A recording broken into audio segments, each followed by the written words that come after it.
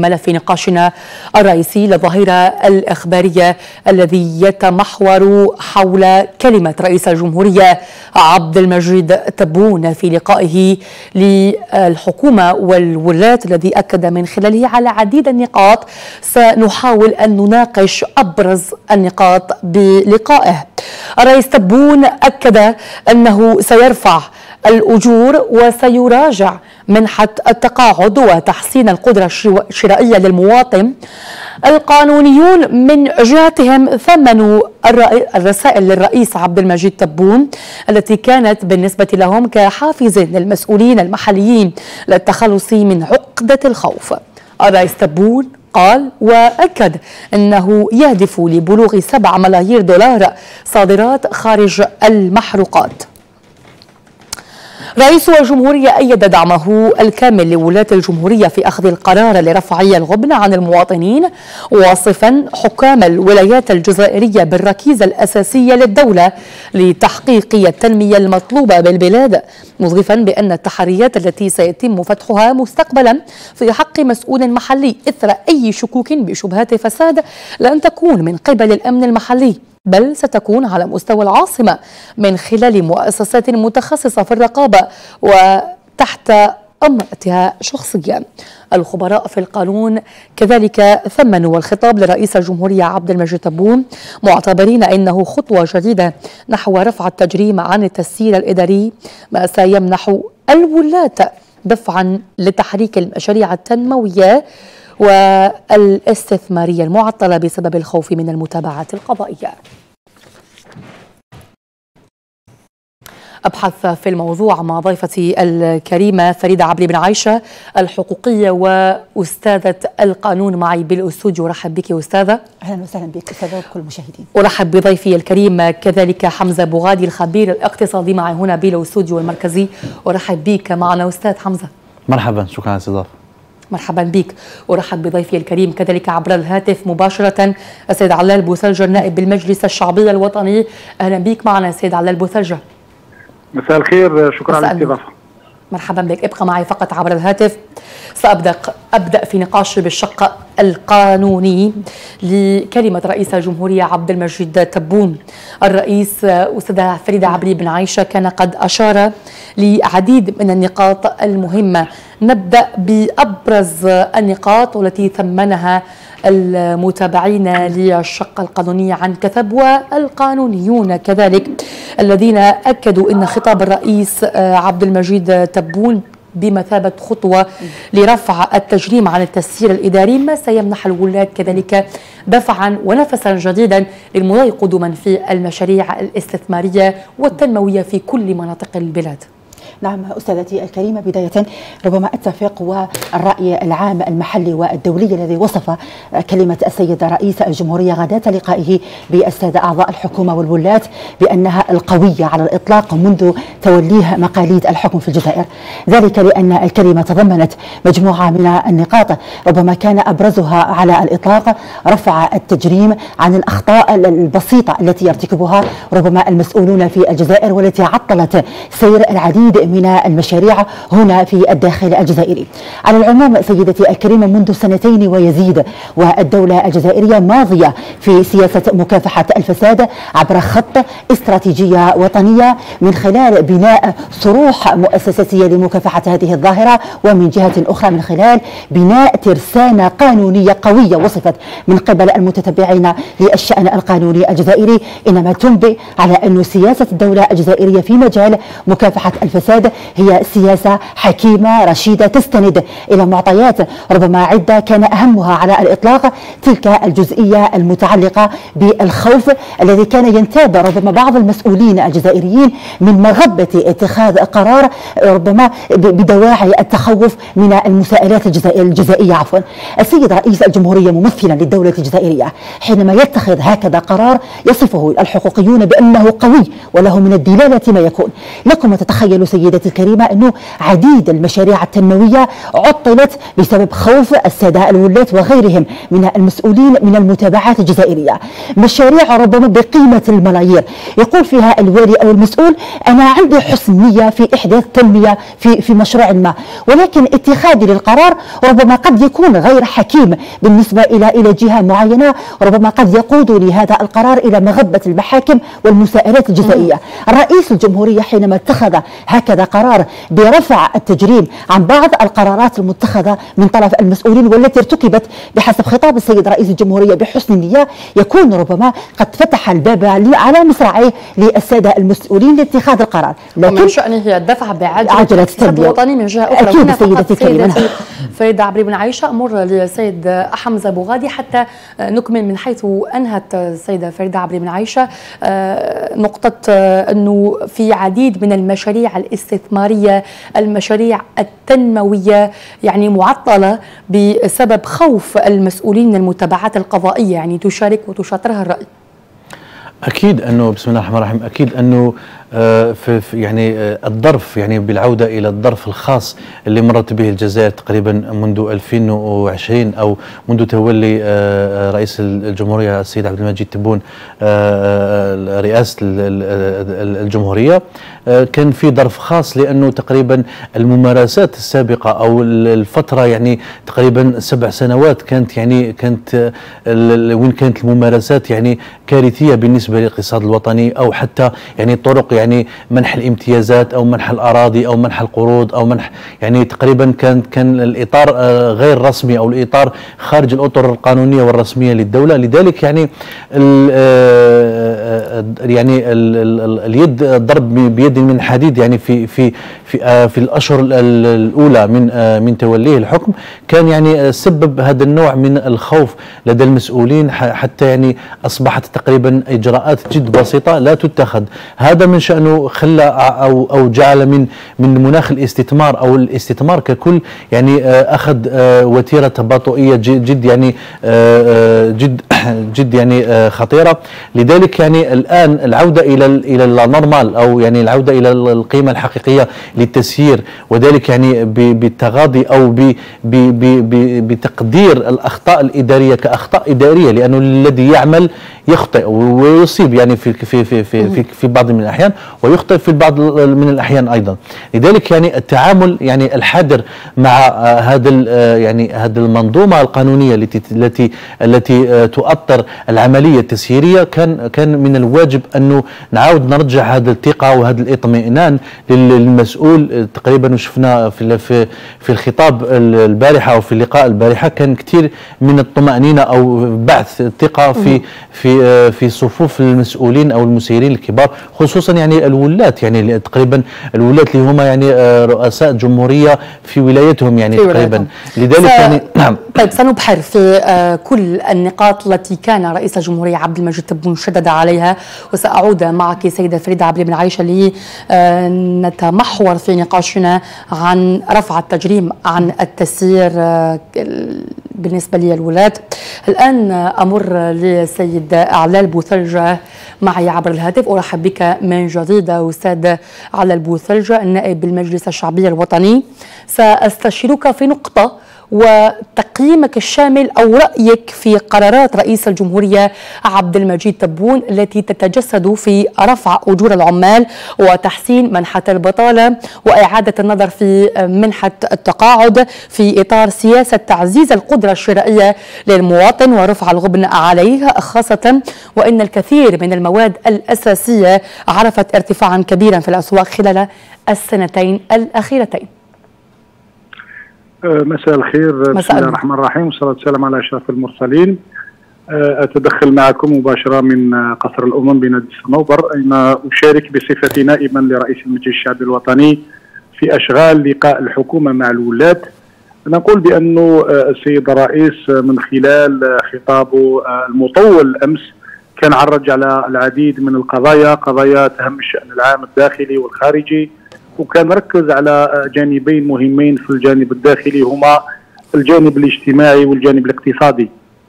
ركز على الجانب الاقتصادي من خلال حث السادة والسيدات الولاة على الدفع أكثر بالمشاريع الاستثمارية والشجاعة في اتخاذ القرارات والتسريع منها ورفع البيروقراطية والمضي إلى الأمام من خلال صلاحيات أوسع للسادة الولاة هذا من جهة. من جهة الجوانب الاجتماعية كان عرج السيد الرئيس على كل ما تم إنجازه فيما يخص الجوانب الاجتماعية لا سيما المراجعة نتاع الرسوم المتعلقة بالأجور الرفع من الأجر القاعدي المضمون الرفع من من من عملية رفع الأجور في المدة الأخيرة كذلك منحه البطالة. كلها إجراءات عددها السيد الرئيس كإنجازات في العامين ونصف الماضيين. زيادة على ذلك حث الحكومة وأمرها أنها تحضر العمل التقني اللازم من أجل رفع الأجور مرة أخرى والرفع من منحة البطالة وحتى المتقاعدين. أنا نقول أنها كلها إجراءات يعني نقدر نوصفها بالشجاعة لأنه علاش؟ لازم ما ننساوش بانه كل الإجراءات هذه جات في ظروف استثنائية أزمة اقتصادية عالمية أزمة صحية عالمية أزمة في أسعار المواد البترولية. وكذلك أزمة يعني كانت سياسية وبعدها تم تجديد مؤسسات الدولة حتى اليوم رانا كل المؤسسات يعني راهي تقوم بالعمل تاعها. أنا أقول بأنه هذه الإجراءات راح تعزز القدرة الشرائية للجزائريين ونحن كنواب الشعب نثمن ذلك. راح ترفع جانب كبير من الغبن على الجزائريين. راح تواجه التدهور تاع القدرة القدرة الشرائية بسبب الأزمة الاقتصادية العالمية. وكذلك الرفع من قيمة الدينار. والتعافي نتاع قيمه الدينار اللي كذلك هو من شأنه انه يساهم في الرفع من مستوى القدرة الشرائية نتاع الجزائريين. هي كلها إجراءات اجتماعية اقتصادية راح تعود بالفائدة على الجزائريين وحتى من جانب التكفل بمناطق الظل السيد الرئيس أمر بصفة نهائية عن غلق النهائي الكلام على مناطق الظل بانطلاق سنة 2023 بداية من جانفي 2023 هذا ما أمره الرئيس. كذلك نعود في نقطة مهمة. أشار إليها الرئيس عبد المجيد تبون لإعادة بلورة الدور الرئيسي للولاة بالجزائر في تنظيم هذا اللقاء. الرئيس عبد المجيد تبون قال أنه الهدف الرئيسي من تنظيم هذا اللقاء هو استرجاع الدور الحقيقي للوالي في تنمية منطقته المحلية وتطوير الاقتصاد الوطني بمختلف شعبه. هل تشوف سيد أبو ثلجة أنه بداية إعطاء الدور أو استرجاع الدور الحقيقي للوالي كانت برفع التجريم عن التسيير عن طريق منع الرسائل المجهولة أولا في إطار تحريك المشاريع التنموية الاستثمارية في كل ولاية؟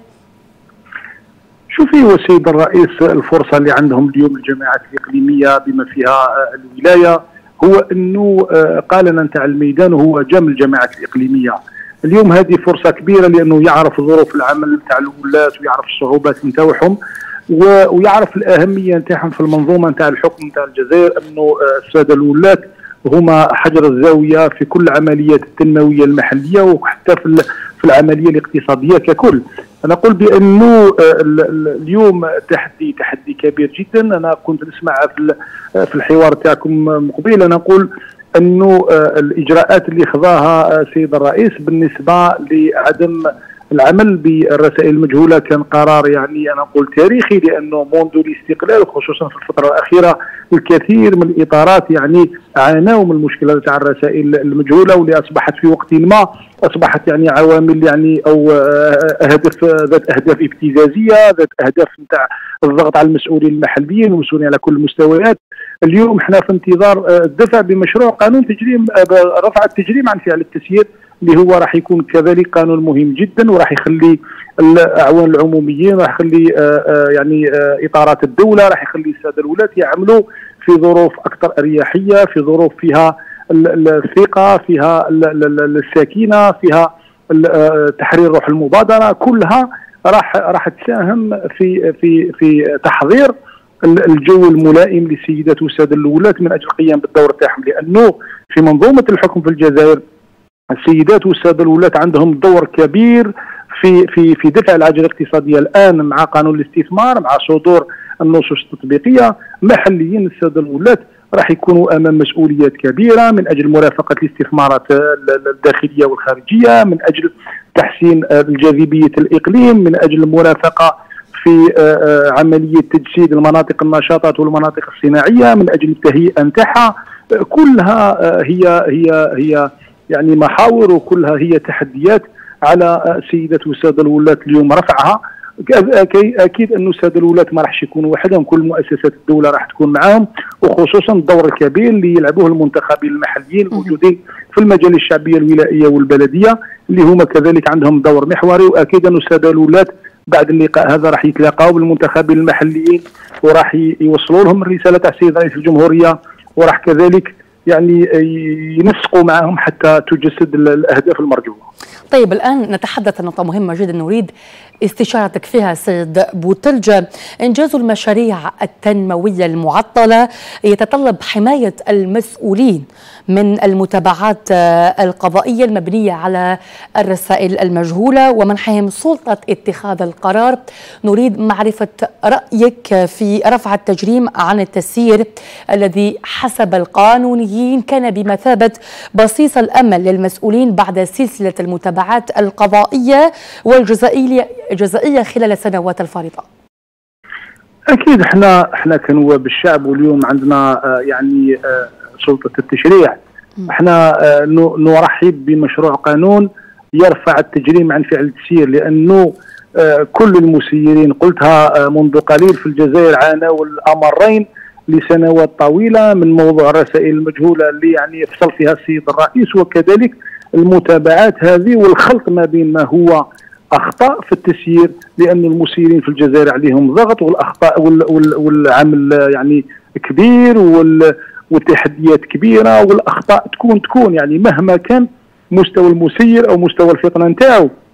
بالمقابل هذا قانون رفع التجريم على فعل التسيير راح يخلينا يعني نفرقوا ما بين النوايا يعني الدنيئة ولا النوايا الإجرامية كما كان يقول الرئيس البارح فصل فيها. قال إذا كان المسؤول ما استفادش هو شخصيا ما استفادش المحيط نتاعو ما استفادش يعني العائلة نتاعو. الا هو ما ما عادش عليه النفع ما كاش ضرر على مؤسسة الدولة لماذا المتابعة؟ هاي باينة هنا باللي كاين خطأ إداري في التسيير. ولكن آه، ما معنتهاش أنه لما نرفع التجريم عن فعل التسيير لأنه الناس ربما يخرجوا لنا مخاوف قال يا ودي راح نسيبوا المال العام. لا إحنا نقول ابدا بالعكس اليوم كل ما نحطوا المسؤولين في أريحية كل ما يتبتعدوا على الخلط ما بين ما هو فعل إداري وفعل تسيير وما هو نوايا يعني آه، نقولوا نوايا سيئة هذا راح يخلي المسؤولين في أكثر أريحية وبالعكس راح تتضح لنا الصورة أكثر وراح تصبح روح المبادرة مفتوحة وراح تصبح الناس تعمل في ظروف يعني آه تاع راحة وظروف تاع سكينه وظروف تاع هدوء وظروف تاع ثقة متبادلة لأنه لحقنا واحد الوقت يعني قبل اليوم قبل سنوات أنه أصبحت ما كاش ثقة حتى بين مؤسسات الدولة كل واحد يرمي الكرة على الآخر يقول له ماش أنا اللي نمضي الآخر اللي يمضي. ماهيش مسؤوليتي الناس كامل أصبحت متخوفة. وشكون اللي يعني يدفع الثمن في نهاية الموضوع؟ يا إما المواطن بالإجراءات البيروقراطية اللي راح يواجهها يا إما الاقتصاد الوطني من خلال التوقف تاع الاستثمارات والتجميد تاعها. ورانا شفنا المبادرة تاع السيد الرئيس لما كلف السيد وسيط الجمهورية شهور قليلة رفع التجميد على حوالي 850 مشروع اللي فيها 50 52 ألف منصب شغل. يعني شوفوا واش راه يضيع الجزائر بفعل هذه الممارسات. اللي يعني آه، آه، لوقت طويل آه، تثبت في كثير من من الضرر المعنوي والضرر الشخصي والضرر الجسدي والضرر حتى يعني من كل الجوانب بالنسبة للمسؤولين. نتحدث الآن كذلك عن نقطة مهمة جدا وهي الهدف الذي أشار إليه الرئيس عبد المجيد تبون وهي بلوغ السبع ملايير دولار صادرات خارج المحروقات في إطار سياسة تنويع اقتصاد البلاد. تحدث كذلك الرئيس عبد المجيد تبون على ارتفاع ملحوظ للدينار الجزائري وانتعاشه في آه، السوق. تحدث عن زيادة قدرها 12% أي واحد آه، دولار أمريكي يساوي المئة وأربعين دينار جزائري بعدما كان آه، على عتبة المئة واثنين وخمسين آه، دينار مضيفا بأن الحركية التي تعرفها السوق الجزائرية والاقتصاد الجزائري خاصة في مجال الصادرات خارج المحروقات لعبت دورا كبيرا في تحسينه. والله شوفي كاين الكثير من المؤشرات الإيجابية اللي يقدر يتسم بها الاقتصاد الجزائري في الشهور القليلة الماضية خصوصا بعد يعني آه، ما الجائحة نتاع كورونا اندثرت وعادت الناس للحياه العادية. ومع انتعاش أسعار النفط العالمي اللي كذلك تلعب دور مهم في توازن الخزينة العمومية. وبداية يعني ظهور المؤشرات الإيجابية للتعافي تاع الاقتصاد الجزائري من خلال التحرير نتاع المشاريع اللي كانت مجمدة من خلال الدخول كذلك في مشاريع كبرى لا سيما يعني غار جبيلات اللي كذلك ممكن يكون يعني آه، كذلك في المستقبل القطاع نتاع المناجم يكون مهم زيادة على التصدير خارج المحروقات. تحدي كبير كان في سنة 2021 بوضع يعني السقف نتاع 5 مليار دولار اللي يعني آه، وصلنا ليه بمجهود نتاع الجميع بمجهود نتاع كامل المؤسسات نتاع الدولة. زيادة على ذلك هذا العام يعني السقف نتاع 7 مليار دولار. أنا نقول بأنه السيد الرئيس متفائل لأنه عنده الأرقام نتاع السداسي الأول اللي كانت أرقام مشجعه بالنسبة للتصدير. وتكلم على قطاعات الحديد الصلب المطاط المواد الزراعية الفلاحية. كذلك كاين الكثير من المواد اليوم اللي الجزائر عندها فيها أسواق خارجية وممكن أنها تتوجه للتصدير. وممكن انه التصدير هذا يرجع يعني بملايير الدولارات على السوق الجزائري. أنا أقول بأنه التحدي الكبير هو التنويع الاقتصاد الجزائري تنويع مصادر الخزينة العمومية. ما, ما نبقاوش حبيسي الجباية البترولية كما بقينا لسنوات طويلة منذ الاستقلال. آه، التحدي ماهوش سهل لازم التضافر تاع الجهود تاع الجميع لازم سياسة واستراتيجية واضحة في في ميدان التصدير. لازم القوانين والتشريعات لا سيما بالنسبة لحركة رؤوس الأموال بالنسبة للضرائب بالنسبة للجمارك بالنسبة للنقل. هي كلها يعني عوامل آه، من شأنها ان تساهم في آه، عملية التصدير وعملية يعني زيادة قيمة الصادرات خارج المحروقات. أنا نقول بأنه المهمة الآن ماهيش فقط مهمة رئيس الجمهورية ومؤسسة البرلمان أو وزاره التجارة أو وزارة أخرى. المهمة هي مهمة الجميع. وجب أن نوضع كامل هذو المصدرين في ظروف قانونية وتشريعية جيدة. وجب المرافقة نتاع البنوك لأن المنظومة المالية نتاعنا كانت دائما محل انتقاد.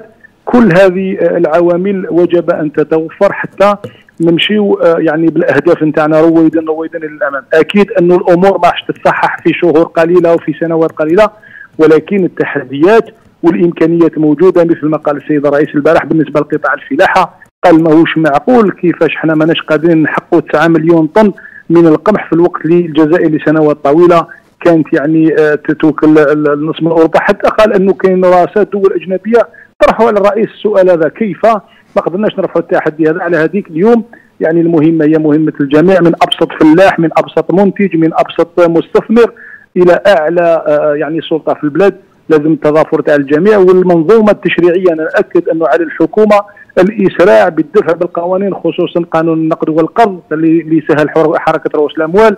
القوانين اللي متعلقة بالبلدية والولاية اللي هي كذلك راح تسمح للمسؤولين المحليين أنهم يحسنوا الجاذبية تاع الإقليم. ويواكبوا موضوع الاستثمار القوانين اللي متعلقة بالجباية القوانين اللي متعلقة بال بالجمارك القوانين المتعلقه بالنقل كذلك مهم جدا أنه وسائل النقل تتحسن الآن عند الخطوط الجوية الجزائرية من خلال اقتناء طائرات جديدة من خلال فتح فتح خطوط جديدة.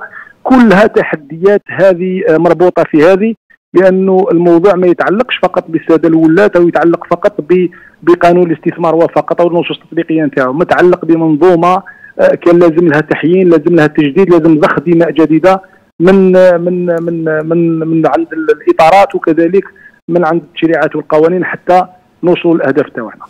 جميل أشكرك جزيل الشكر أستاذ علال بوثلج النائب بالمجلس الشعبي الوطني.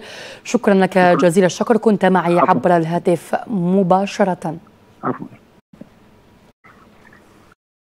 أعود إليكما ضيفي الكريمين. آه، أعود معك سيدة فريدة عبري بن عايشة وأعود لأفتح معك نقطة آه، النقاش الرئيسية وهي التحريات.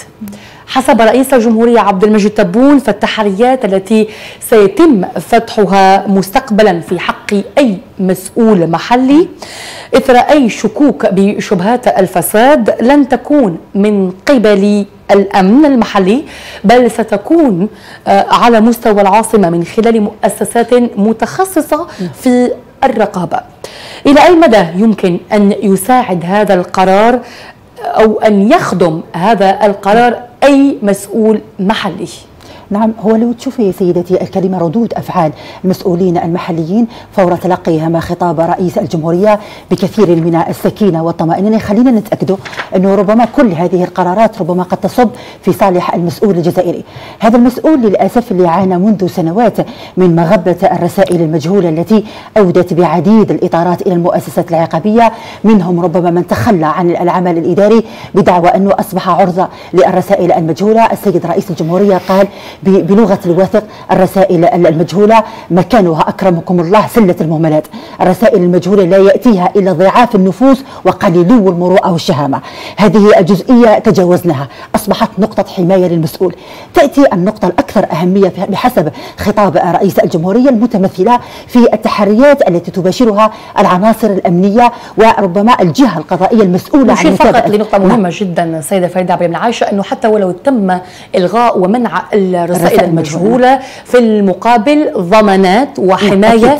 لكل مبلغ عن فساد نعم أليس أكيد. كذلك؟ أكيد لأنه فيه آه فعلا هناك من آه يؤكد أنه آه الرسائل المجهولة كما سبق وأشرت أكرمكم الله ما كان سلة المهملات لكن في المقابل في ضمانات في حماية حقيقية ميدانية لكل من يبلغ عن فساد. أكيد هو لأنه اليوم أنا في فترة حساسة من, من تاريخ الدولة الجزائرية وبالتالي أي قرار لابد أن يصدر عن الدولة الجزائرية لابد أن يتصل بالحكمة. لما أنا نلغي الرسائل المجهولة يعني أنه أنا فتحت مساحة أكثر للناس المبلغين باش يبلغوا بهوياتهم الحقيقية. يعني أنا من فريدة عبري نشوف أنه في قضية فساد نروح نبلغ عليها. ولكن أعطيوني الحماية. مش أنا نبلغ وبعد نتعرض إلى ضغوطات من طرف الناس اللي بلغت عليهم. قد تصل ربما إلى التهديد المعنوي إلى تصفية جسدية إلى أمور الأمانة شفناها في سنوات مضت.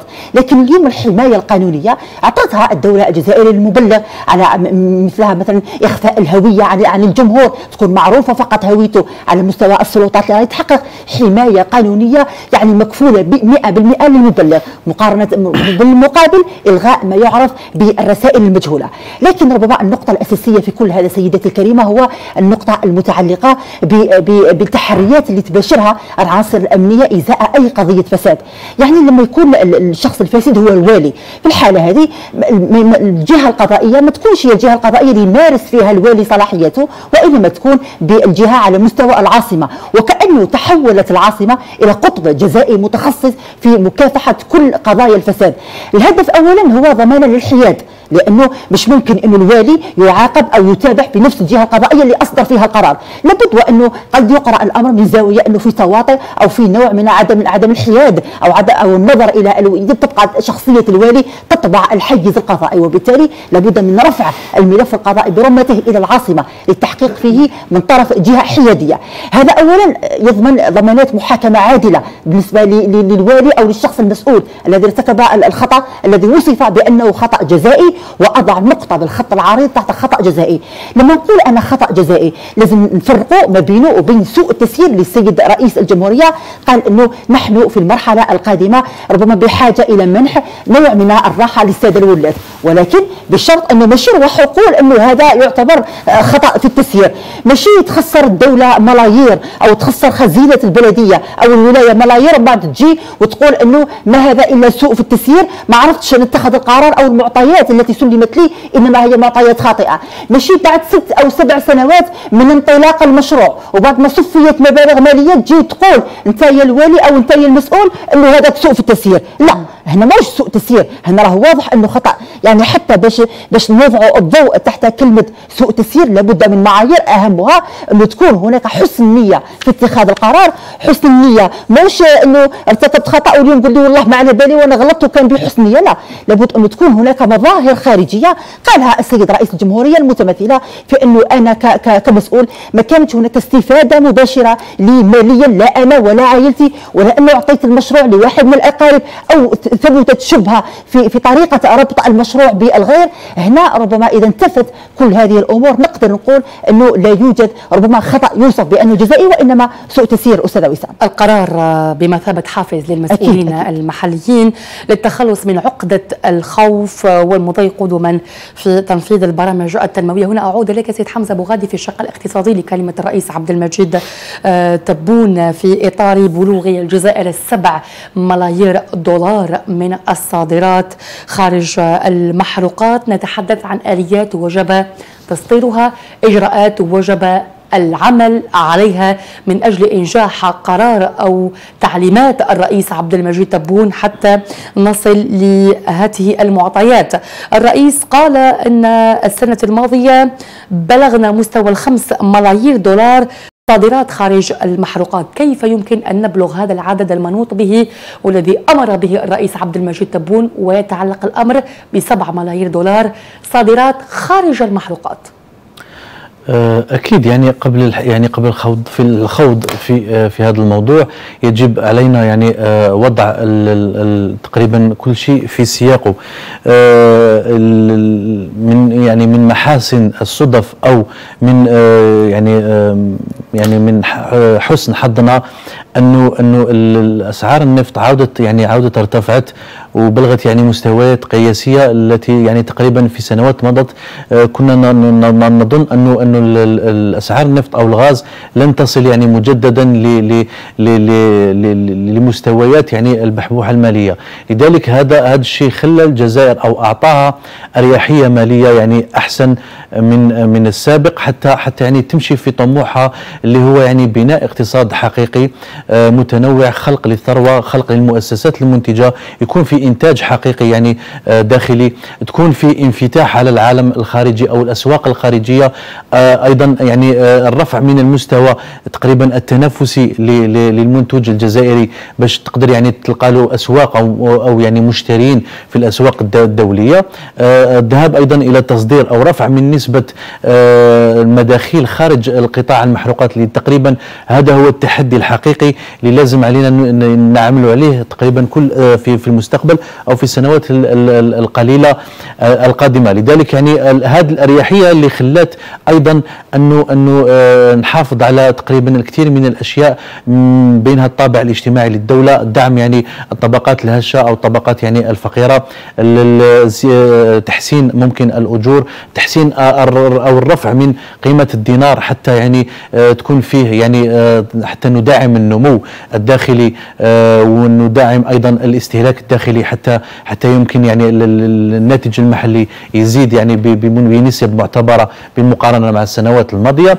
لذلك يعني الآن الحديث عن آه، الصادرات أو آه، صحيح يعني من الجيد تسطير أهداف يعني تكون قابلة للتحقيق وقابلة للقياس أيضا وتكون عندنا يعني هذا التحفيز للمنتجين المحليين أو للمستثمر المحلي أنه يمشي للإنتاج ويمشي أيضا للتصدير آه، يعني آه، بمضاعفة يعني آه، استثماراته أو بخلق مناصب شغل جديدة أو بالرفع من الجباية المحلية. لذلك يعني القول بأنه تقريبا في سنة 2021 وصلنا لهذا الهدف اللي كان 5 ملايير دولار. في سنة 2022 تم رفع تحدي جديد اللي هو 7 ملايير دولار.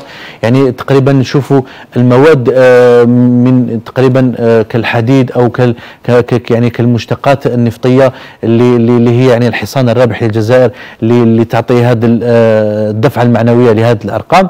السنوات المقبلة يعني خصوصا سنة 2023 تقريبا باستكمال كل الإصلاحات آه، إصلاح الأدوات الاقتصادية من قانون الاستثمار اللي خرجت النصوص التنظيمية الأسبوع الماضي آه، والآن تنتظر تقريبا حيز, تنتظر التنفيذ باستحداث كل هذه الهيئات المؤطرة للاستثمار. أيضا بالإصلاحات الكبرى أيضا لتمس الأدوات الاقتصادية من بينها يعني القوانين قانون القرض والنقد يعني اللي اللي يعطي آه، نفس جديد ودماء جديدة في شريان يعني النظام المالي الجزائري اللي تقريبا يعتبر يعتبر هو عماد الاقتصاد في الاقتصاد الحديث واللي يمكن أيضا حتى من استقطاب أو من يمكن من تأطير الأموال ممكن أو الاستثمارات التي التي ستتدفق آه، من الخارج يعني من استثمارات أجنبية بفعل آه، جاذبية أو بفعل يعني تحسين مناخ الاستثمار الجزائري. لذلك يعني تقريبا هذو هم العوامل اللي لازم علينا نعمل عليهم أكثر باكثر جدية. جديه وباكثر حزم في سنة 2023 يعني بالتسهيلات آه يعني لخلق مؤسسات جديدة حتى يكون عندنا وفرة في المنتوجات. أيضا يجب التنويه انه أنه تقريبا يعني التعامل أيضا ك ك يعني ممكن انه أنه آه، شفنا الخوف من التسيير أو الخوف من الفعل الإداري خلى تقريبا آه، عمل بطء في في وتيرة آه، في وتيرة يعني دخول استثمارات كثيرة حيز يعني الاستغلال. أيضا يعني التعامل مع الاستيراد يعني ك يعني تقريبا كموضوع حساس جدا خصوصا شفنا في السنة الحالية أو سنة 2022 يعني كان فيه كان فيه يعني جد كان فيه صعوبة أو كان فيه يعني تقريبا منع للاستيراد لكثير من المنتجات أو في في في في بطء في في, في الاستيراد. لكن يجب التنويه انه الاستيراد تقريبا هو داخل في العملية الإنتاجية. لما نتكلم عن ممكن منتجات يعني كنا في السابق نستوردوها. هذا شيء إيجابي جد إيجابي أنه نمنع يعني منتجات في, في متناول المنتج المحلي اللي ما تتطلبش تكنولوجيا عالية أو ما تتطلبش يعني آه، خبرات أو معارف يعني كبيرة. لذلك يعني آه، الحد من هذه الأشياء شوف شاف شفنا الكثير من المنتجات الوطنيه تزدهر يعني وشفنا كثير من المنتجات يعني تملأ الرفوف تقريبا في كل المجالات. لكن آه، في المقابل يعني منع استيراد يعني المواد الأولية أو تقريبا كثير من الأشياء اللي تدخل في العملية الإنتاجية كالماكينات أو كالآلات يعني اللي تقريبا هي العصب الرئيسي في إطلاق أي مشروع. هذا الشيء يجب أن نتعامل معه بحذر خصوصا في آه، في السنة المقبلة أو خصوصا يعني في في في الأشهر القليلة القادمة لذلك يعني كثير من المواضع الاقتصادية ممكن انه النيه مليحة لكن آه، في في كثير من الأحيان تخلي أنه أنه تخلق هذاك الجمود أو تخلق من من تباطؤ الحركية التجارية والاقتصادية آه، في في في دولة ما نتحدث الآن نقطة مهمة جدا لو تجيزها لي فقط في 30 نعم. ثانية أو دقيقة فقط سيد حمزة بوغادي نتحدث عن ما أشار إليه الرئيس عبد المجيد تبون بصريح العبارة. أشار إلى أنه من العيب أن نستمر في استيراد الحبوب وأنه حتى فيه رؤساء دول التقى بهم الرئيس عبد المجيد تبون وقال أنه كيف لي الجزائر التي كانت في يوم من الأيام تصدر الحبوب لدول عديدة.